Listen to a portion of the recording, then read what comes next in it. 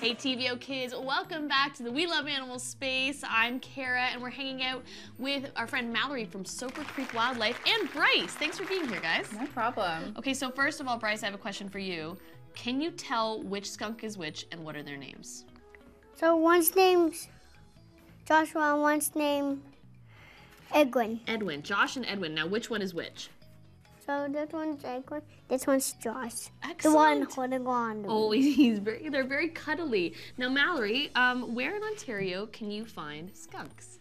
You can find them mainly in wooded areas, um, and they're all over the province. But something that's kind of cool about skunks is that they often don't build their own homes. They like to inhabit uh, homes of other animals that have been left vacant. Oh, wow, that's so cool. And you said something about the stripes as well. Yeah, so there's over 10 different species of skunks, and these guys are striped skunks. Okay. Um, and the stripes that you see on them here are unique to each skunk. So if we were to actually shave them down, you'd see that pattern on their skin as well. Uh, so kind of like how humans have fingerprints, these guys have their stripes. Oh, yeah, wow. that's like that's like their their their claws.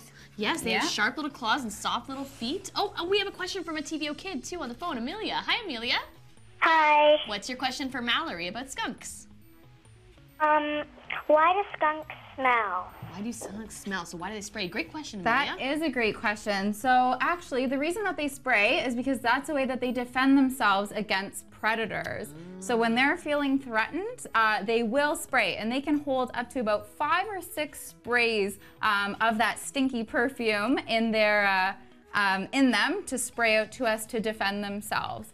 Uh, and if they spray everything out, then it takes them about nine days to build that back. So they usually don't spray that much Okay. because then it would leave them defenseless. and what should kids do if they see skunks? Uh, if you see a skunk in the wild, we would say never to approach a wild animal. You'd want to stay about a safe distance away from them. And in the case of skunks, that's about 10 feet because that's how far that spray will go. Wow, awesome. Well, thanks. Mallory and Bryce are going to stick around for one more animal. If you have any questions Yeah, on porcupines, call in up after Odd Squad. Yep. Yep. Perfect. The Space.